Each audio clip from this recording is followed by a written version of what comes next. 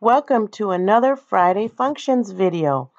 In this short video, I want to just show you a little bit more about the attachments control. It's such a popular control being so new that I want to kind of progressively show you some special things. Now, since I've talked about attachments so much this week, I'll do another Friday Functions video over the weekend on a different topic just so that you don't feel overloaded about attachments. So in this video, I just wanted to show you that I have an attachment control on the bottom of this form.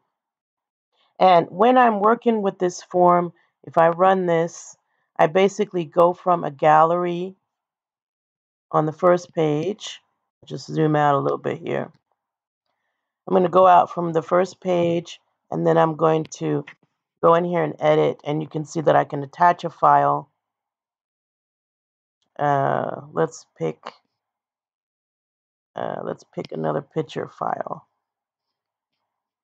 Pick this icon here, okay? So now I have three files in there. And remember, you have to save for your files to stay, you know, stay put, right? So now I'm going to, with that file saved, and now I've selected it as well, I just didn't browse to the page I just made. I'm going to go to this page and I'm going to collect what I what I used in that in that control. So if I hit collect, you'll see that I have set a formula on my collect button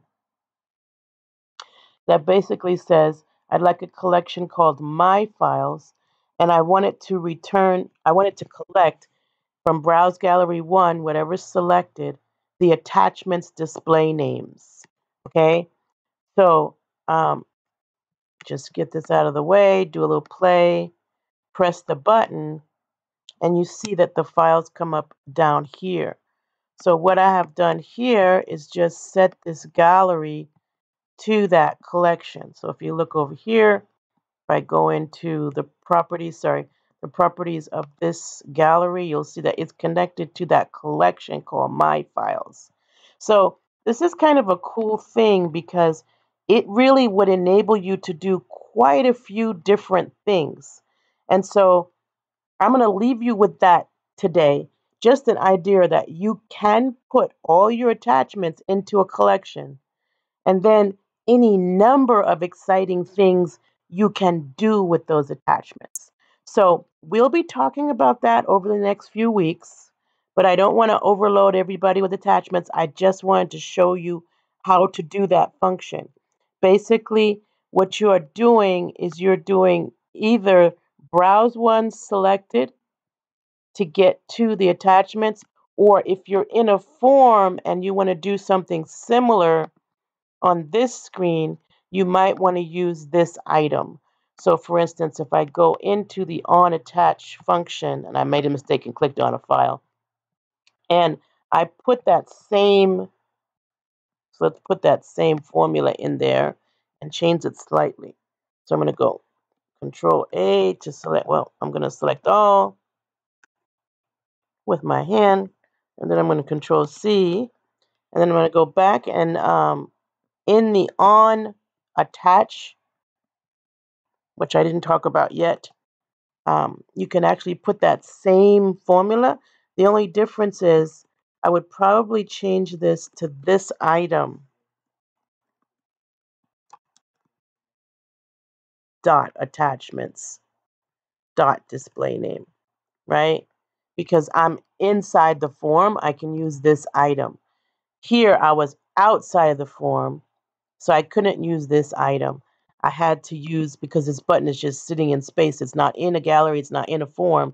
I had to specify which item in the gallery, whichever one is selected, and then what properties I want. And if you notice when you're writing these formulas for the attachments, when you hit the dot, I'm just kind of showing you the formula close up, you're going to see attachments at the top. But you're going to need to drill down another level to get to what you want from that attachment. FYI, yes, you can get the absolute, you can get the path to the absolute URI, right? So this is this is You might not realize it yet. Those of you that are experts, you probably do realize this is huge. Being able to take that list of attachments from a list item and have access to it in a collection. Ooh, there's a lot you can do.